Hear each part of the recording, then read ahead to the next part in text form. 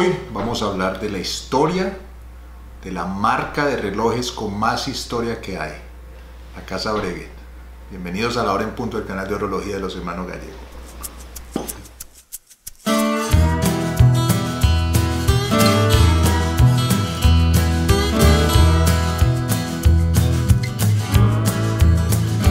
Ya hablamos de Rolex, hablamos de Tudor, vamos a hablar hoy de una casa verdad que tiene mucha historia. para darles una idea, Rolex tiene 106 años, Breguet tiene 246 años. Y para hablar de Breguet tenemos que hablar de Abraham Louis Breguet, que es el mejor relojero que ha existido y que nace en 1747. El papá de él muere relativamente pronto y el padrastro tenía unos contactos en Versalles, él estaba en la parte relojera y le dice, Abraham, andate para para Francia y estudiar relojería. Y en efecto hizo eso durante 10 años. Comparen eso a Wilsdorf, que era el vendedor, el que fundó a Rolex en 1905, que no había hecho, pues no tenía ningún entrenamiento como relojero. Breguet estuvo 10 años metiéndola a todo lo que era relojería. Matemática estudió con Ave Marie. Y después de eso, en 1775, funda la compañía en el Cual de l'Oroc.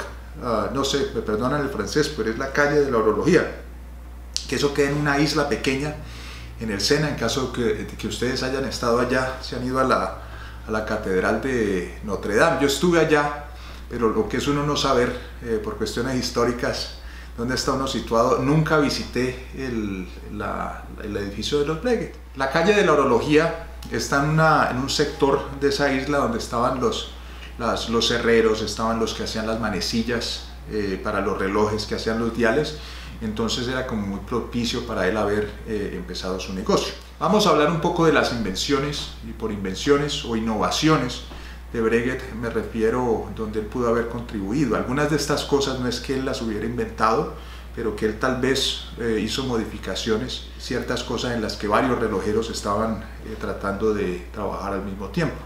En 1780 es el caso del Perpetuel, que es lo que llaman el reloj de Reyes y es el primer reloj automático. El primer reloj automático eh, le puso Breguet un péndulo de platino y en la parte de arriba ustedes pueden ver los barrels, los, los barriles, donde se le puede dar cuerda al movimiento simplemente por el movimiento de la persona. El primero que obtiene esto es el duque de Orleans en 1780. En 1782, María Antonieta se convierte en patrón de Breguet. María Antonieta, como ustedes saben, era la mujer de Luis XVI y le fascinaban los breguets. Ella tenía varios breguets y de hecho hasta cuando estaba en la cárcel ella quería tener uno. En 1783 uno de los, de los guardianes pues, de, su, de su guardia real, eh, de los oficiales, va a donde Breguet y le dice necesito el mejor reloj que usted ha tenido y no solamente eso, le pone todas las innovaciones que hayan hasta este punto, las quiero en un solo relojito, todas las complicaciones. Entonces, como ustedes saben, a María Antonieta la pasan al papayo en 1793. Ella nunca ve ese reloj, pero el reloj lo hacen. Lo terminan haciendo en 1802, lo sacan. Ese es el número 160, María Antonieta. Cambia de dueño un par de veces. Eventualmente en Jerusalén, en el Museo de Jerusalén, se lo roban en 1983. Y el ladrón es tan bruto de llevarse el reloj para la casa. Y lo encuentran por allá debajo de la cama y resulta que es que creía que era muy buen amuleto que era buen amuleto tener el, María Antonieta. Eh, lo recuperan entonces en el 2007.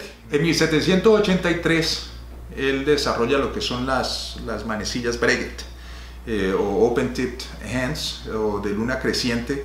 Lo que pasaba es que los diales en esa época eran supremamente ornamentados, ornamentados y era muy difícil darle contraste con las manecillas. Las manecillas, piensen en las manecillas barrocos de los, de los eh, relojes grandes, entonces eran hechos de esa manera para darle un buen contraste. Cuando le ponen una, una, manecilla delgada, eso se perdía básicamente en el dial. Entonces lo que él hace es minimiza, simplifica lo que es el dial de los relojes, los pone esmaltados, pone unos numerales arábicos y pone unas manecillas delgadas y para darle cierto, cierto contraste le pone la luna creciente en la parte distal de la manecilla. Eso es lo que llama uno el Breguet Hat y eso es lo que empieza el estilo de Breguet. También en 1783 él saca el espiral Gong, que es el que tiene los relojes minuteros. Hasta entonces los relojes minuteros, que acuérdense de esa complicación, donde las personas no necesitan la luz para ver la hora, simplemente ponen un pusher y él le da los sonidos dándole una campana que le dicen a uno qué hora es y qué minutos son. Entonces hasta ese momento se utilizaban eran campanas y eso hacía el reloj supremamente voluminoso, eso lo llaman uh, turnip watches y lo que Breguet hizo fue reemplazar esas campanas por unas varas de metal inicialmente rectilíneas y eventualmente una espiral que él ponía eh, por la parte eh, de fuera del movimiento. En 1786 eh, sale el guilloché, es básicamente utilizar un torno o una máquina donde se puede darle un grabado al guilloché y ahí es que se completa lo que es el dial de Breguet, que son el guilloché, las manecillas Breguet, los números arábicos y el dial esmaltado. En 1790 él saca el sistema Parachute, que es un mecanismo de protección uh, al choque. El problema era que de la parte del reloj lo más sensible al choque era la rueda de balance, el pivote. Entonces lo que él hace es cogerle la punta de esos pivotes, las pone cónicas, los pone por encima de unos platillitos que también tienen formas cónicas y les pone una espiral al lado y lado. Eso es lo que llama el, mecanismo parachute. Y es el predecesor del Inca Block, que es lo que tienen muchos relojes durante el siglo XXI y es básicamente el predecesor de cualquier eh, mecanismo de protección para el shock de cualquier movimiento actual.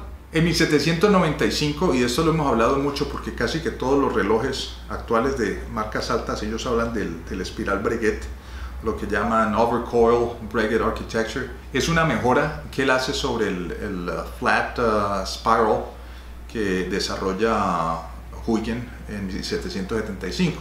Entonces Huygen, que es un, es un holandés, él trata de ver cómo puede reemplazar el mecanismo de péndulo por algo que sea más portátil. Entonces saca una espiral que es más o menos corto y es plano. La cuestión es que es muy susceptible a los cambios de posición. La manera que Breguet mejora eso es que lo hace mucho más largo, hace muchas más vueltas alrededor de esa espiral y la parte más externa la saca para darle una arquitectura tridimensional. Eso lo hace mucho más preciso y menos susceptible a los cambios de posiciones. En 1798 Napoleón se convierte en uno de los patrones de Breguet. Entonces él tenía sus generales y algunos de ellos le dijeron, ve, mira, este, este man en París, él hace unos, unos relojes la berraquera y pues antes de que nos vayamos para Egipto, ¿por qué no te compras uno? Y en efecto le compró tres antes de irse para Egipto. Ahora, una de las cosas que ustedes ven en las propagandas de Breguet es que siempre está ahí, dice Napoleón Bonaparte y lo ponen en un caballo y sale así, pero pues obviamente no había, tenía sus relojes bien sanos y salvos en una, en una carpa o algo, porque pues en ese momento no habían eh, relojes de, de brazalete y lo ponen viendo a las pirámides, pero pues eso es una manera de Breguet de hacerle advertisement pues a la relación que hubo con Napoleón y con la familia de Napoleón. En 1799 ellos sacan el reloj de tacto, Tact Watch, que no es que sea muy importante como innovación, pero sí es curioso. Entonces hace un reloj que no tiene dial, le pone unas referencias por la parte externa para que pueda saber con el tacto qué hora es y cómo corresponde con una flecha. Entonces lo hacían eso para la nobleza, gente que iba a eventos y pues no quería dar el espectáculo pues sacando el reloj de un momento a otro. En 1801 viene la innovación más grande posiblemente de Breguet. Entonces algunas de las cosas de las que hemos hablado era como mejoras en que otras personas estaban trabajando. Esto es lo patente, él usualmente no patentaba las, las, las innovaciones. Este saca la patente el 6, el 26 de junio de 1801 y es el turbillón. El turbillón es la base o el racional del turbillón es que el enemigo de la precisión es la gravedad. Los relojes tienen diferentes, se pueden acelerar o se pueden retrasar de acuerdo a la posición que tengan.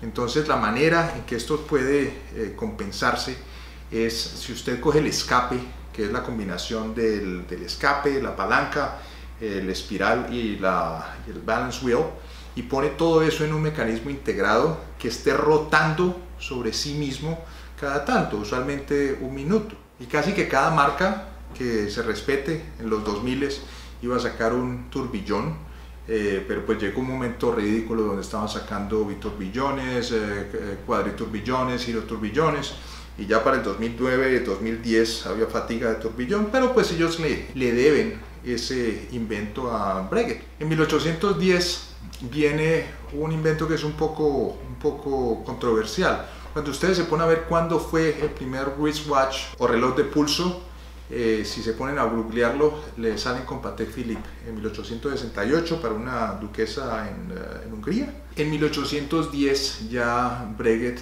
había sido comisionado por la hermana de Napoleón Bonaparte, Carolina Bonaparte o Caroline Murat, eh, para hacer un, un, reloj de pulsera. Este reloj lo mandan para servicio en 1849-1855 y hay registro en los, en los documentos de Breguet de que ese reloj existió. Lo que pasa es que desapareció, ese reloj nunca se recuperó.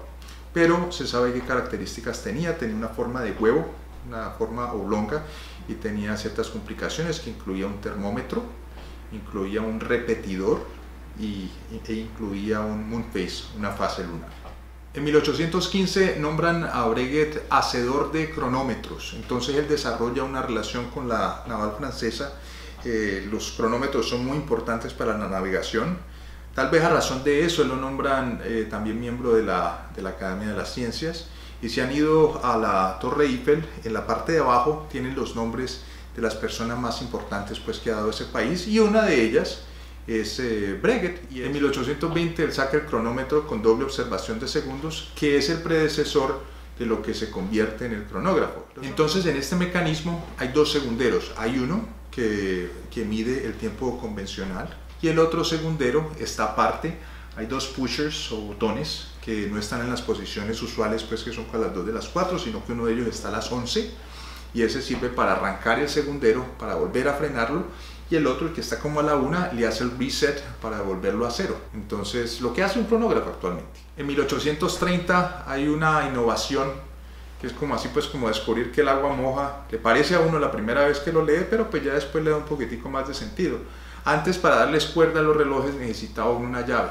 Entonces por primera vez supuestamente ellos ponen en la corona un mecanismo donde se le puede dar cuerda al reloj ahí mismo con el botón con el que se le cambia, con el que se le cambia la posición a las manecillas. En 1870 cambia de manos la compañía. Entonces hasta entonces fueron tres generaciones de los Breguet el papá Breguet o abuelo Breguet él muere en 1823. Entonces el nieto le, le, deja esto a Edward Brown, que se queda con la compañía como por dos o tres generaciones, eh, se la deja a los hijos. 1870 fue particularmente una época difícil para Francia, porque acuérdese eso que tuvieron la guerra franco-prusiana, eso significó la caída del segundo imperio alemán y la unificación de Alemania bajo la bandera de Prusia. Entonces Francia las, ventas de Breguet bajan durante toda esa época y no vuelven a subir sino hasta entre 1900 y 1914 con la bella época. En 1954 el Ministerio de Defensa francés comisiona a Breguet para que les haga cronógrafos. Ahí sale el tipo 20. Tipo 20, eso es con números arábicos para diferenciarlo de la versión civil, que eso es con números romanos y era para la Fuerza Aérea. Entonces, para fines de los 50, ellos ya le estaban dando relojes a la Fuerza Aérea a la Fuerza Aérea la Naval y también como a la parte del testeo de los pilotos. Ahora, no le daban el reloj a los pilotos, ellos tenían que utilizarlo, pero tenían que devolvérselo al gobierno supuestamente para que le siguieran el mantenimiento.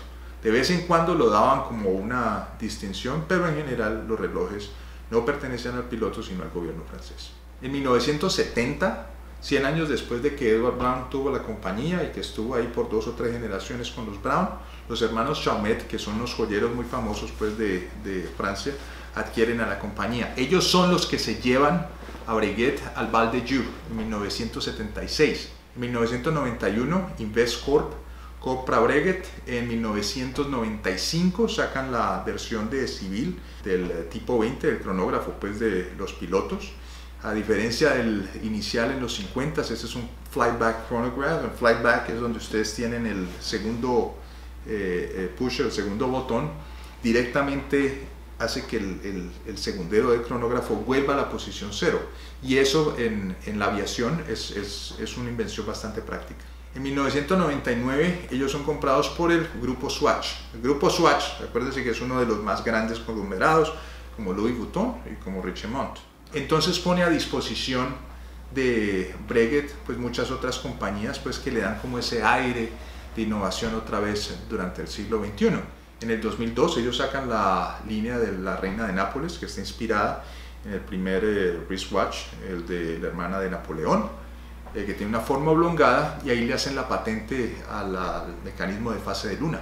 En el 2005 sacan la tradición Line o, línea de la tradición donde se encuentra supuestamente lo anterior, eh, lo, de los comienzos de Breguet con lo nuevo y lo pueden identificar porque tiene unos diales abiertos, nosotros vamos a hablar eso en otro video donde hablamos de la colección de Breguet.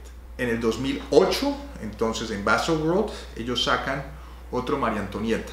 Entonces se habían robado el María Antonieta original, el 160 en 1983, lo encontraron en el 2007, pero ellos pensaron que iban a perder ese reloj por siempre. Entonces, basados en dibujos e información que ellos tenían pues en sus récords, habían hecho como una réplica del Antonieta original. Este es el 1160 que sale en World en el 2008.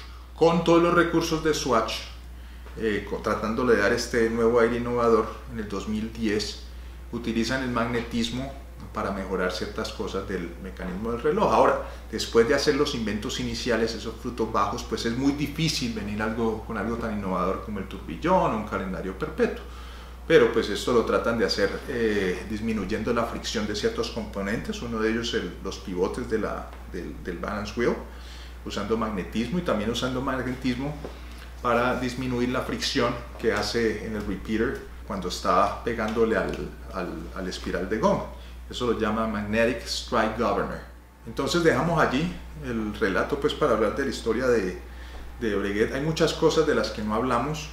Por ejemplo, la influencia de Breguet en las artes. Es muy conocido que varios de los mejores eh, escritores, incluyendo Stendhal, Honorato de Balzac, Víctor Hugo, Alejandro Dumas, en los libros a veces le han hecho referencia a Breguet.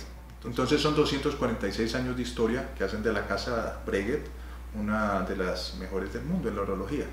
Bueno, si les gustó el video, denle like, se suscriben, le hacen hacia la campanita y hasta la próxima muchachos. Chao.